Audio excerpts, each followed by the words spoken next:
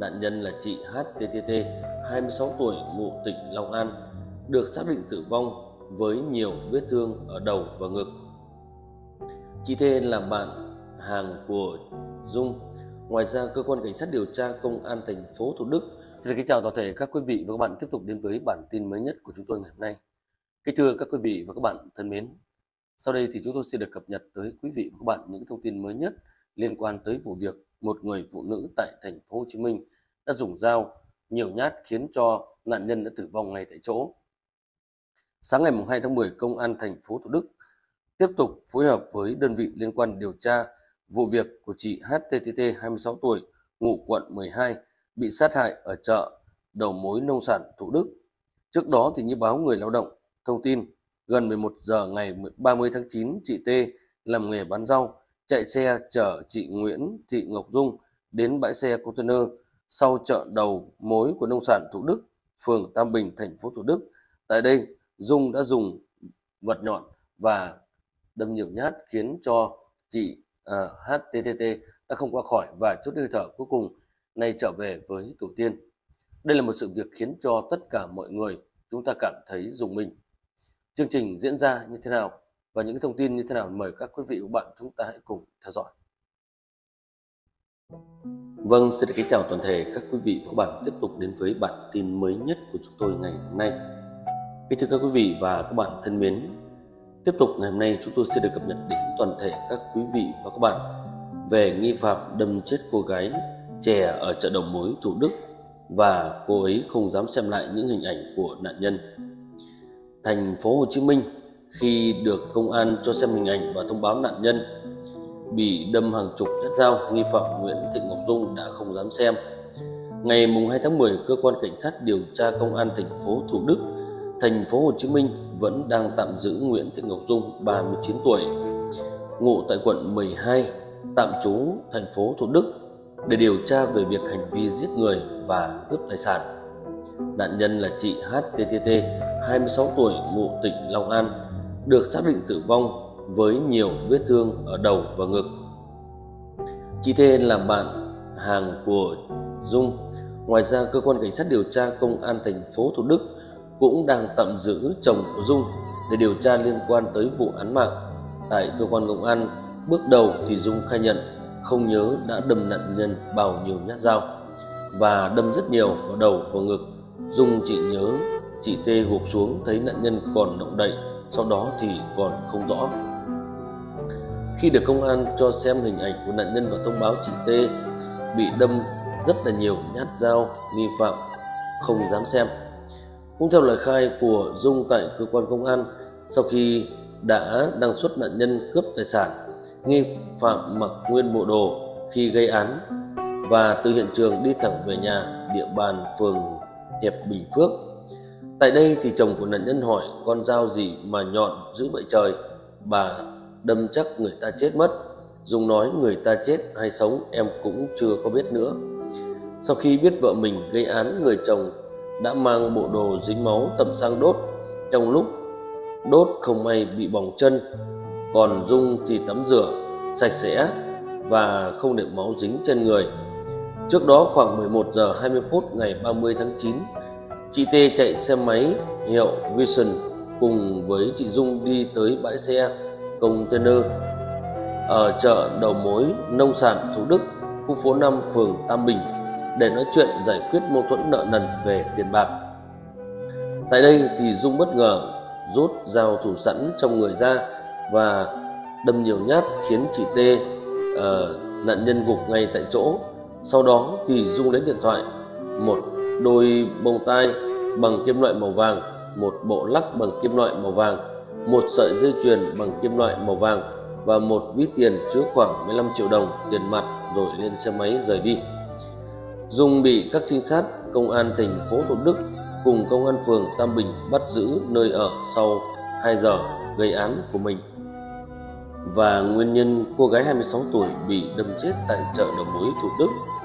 Sau khi cự cãi, cô gái 26 tuổi quê ở Long An bị người phụ nữ 39 tuổi đâm tử vong trong khu vực bãi xe chợ đầu mối thành phố Thủ Đức, thành phố Hồ Chí Minh. Bước đầu nguyên nhân vụ việc được xác định liên quan tới nợ nần khi hai bên gặp nhau thì xảy ra sự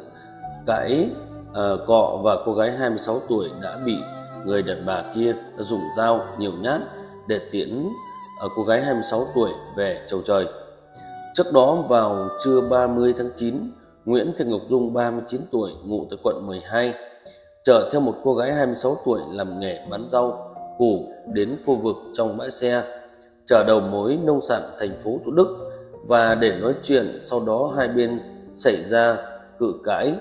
Dung đã dùng hung khí và nhiều nhát đưa vào người cô gái khi xảy ra vụ việc một người đàn ông. Nghe tiếng la hét nên lại xem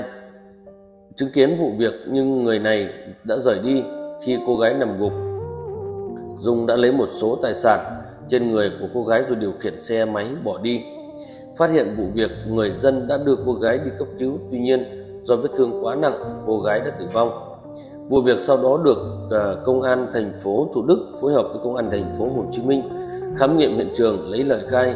à, những người liên quan. Bằng các biện pháp nghiệp vụ, công an xác định dung là nghi phạm nên tiến hành bắt giữ tại phường hiệp bình chánh. Đây là một vụ việc thật sự xảy ra rất đau lòng và thương tâm. Khi hai người đàn bà cãi cọ nhau và đã dùng hung khí tiễn nhau về nơi ăn nghỉ cuối cùng. Sau đó có một người đàn ông cũng đã đến và cũng được xem tình huống đó, nhưng người đàn ông không có một chút nào gọi là can ngăn, thưa quý vị và các bạn. Và cô gái bị sát hại ở Tổ Đức, người đàn ông chứng kiến nhưng bỏ đi sẽ bị xử lý như thế nào? Luật sư Trần Minh Hùng cho rằng tùy thuộc vào kết quả điều tra lấy lời khai cụ thể để xác định người đàn ông chứng kiến vụ việc cô gái bị sát hại ở Thủ Đức có chịu trách nhiệm hình sự hay không. Liên quan đến vụ chị HTTT 26 tuổi sát bị sát hại ở chợ đầu mối nông sản Thủ Đức, à, phường Tam Bình, thành phố Thủ Đức, thành phố Hồ Chí Minh. Và đã được camera an ninh ghi lại toàn bộ tội ác của Nguyễn Thị Ngọc Dung 39 tuổi, ngụ quận 12 khi nhẫn tâm xuống tay với 90 nhát dao về nạn nhân Thời điểm xảy ra vụ việc, camera còn cho thấy lúc Dung quật ngã chị HTTT có người đàn ông mặc áo trắng đứng phía sau container. Nghe tiếng động, người này liền đến quan sát khoảng vài giây thì sau này người đàn ông đã bỏ đi tư thế chậm rãi. Trao đổi với báo Người Lao động và luật sư Trần Minh Hùng, trưởng văn phòng luật sư gia đình. Thành phố Hồ Chí Minh thì ờ, cho biết giả sử Tại thời điểm xảy ra vụ việc nếu người đàn ông chứng kiến chị T đang nguy hiểm tính mạng và biết Dung đang cầm dao có điều kiện giúp đỡ mà không cứu giúp và với sức khỏe của một người đàn ông người này đến can ngăn hoặc chị à, ờ, sẽ hô cho mọi người xung quanh đến để giúp đỡ thì có lẽ cô gái 26 tuổi không qua đời và cũng không mất mạng thì à, cần điều tra làm rõ trách nhiệm của người đàn ông này thưa quý vị và các bạn. Luật sư Hùng cho rằng cần điều tra xác minh theo đó người đàn ông có thể sẽ bị khởi tố theo tội danh căn cứ theo khoản 1 điều 132 Bộ luật hình sự 2015 sửa đổi, bổ sung 2017 quy định người nào thấy người khác đang ở trong tình trạng nguy hiểm đến tính mạng tùy có điều kiện mà không cứu dẫn đến hậu quả người đó chết thì sẽ bị phạt cảnh cáo, phạt cải tạo không giam giữ đến 2 năm hoặc là phạt tù từ 3 đến 3 tháng đến 2 năm. Bên cạnh đó thì người vi phạm có thể bị uh, cấm tức là bị cấm đảm nhiệm vụ chức vụ, cấm hành nghề hoặc làm công việc nhất định từ 1 đến 5 năm. Ngoài ra thì cái hành vi của người đàn ông trên cũng có thể truy cứu trách nhiệm hình sự về tội không tố giác tội phạm theo quy định khoản 1 điều 390 Bộ luật hình sự 2015 sửa đổi bổ sung 2017 với hình phạt là cảnh cáo và phạt cải tạo không giam giữ từ không, từ 3 năm hoặc phạt từ 6 tháng đến 3 năm, thưa quý vị. Như vậy, tùy thuộc vào kết quả điều tra xác minh cụ thể lấy lời khai trích xuất camera cụ thể, chi tiết của cơ quan chức năng sẽ xác định người đàn ông có chịu trách nhiệm hình sự hay không thì luật sư Trần Minh Hùng cũng có thông tin trước đó, như báo người lao động thông tin gần 12 giờ ngày 30 tháng 9 chị T làm nghề, bán rau, chạy xe, chở Dung đến bãi xe container. Sau đó thì, sau chợ đầu mối nông sản Thủ Đức, tại đây Dung dùng vật nhọn là dao, đâm nhiều nhát vào vùng ngực và đầu của chị T. Và Dung lấy điện thoại, iPhone 14 Pro Max, một bông tai bằng kim loại vàng và khoảng 15 triệu đồng tiền mặt của chị T, rồi lên xe máy bỏ đi. Chị T được người dân đưa đi cấp cứu nhưng đến chiều thì đã tử vong. Sau 2 giờ, công an phường Tam Bình đã phối hợp với các trinh sát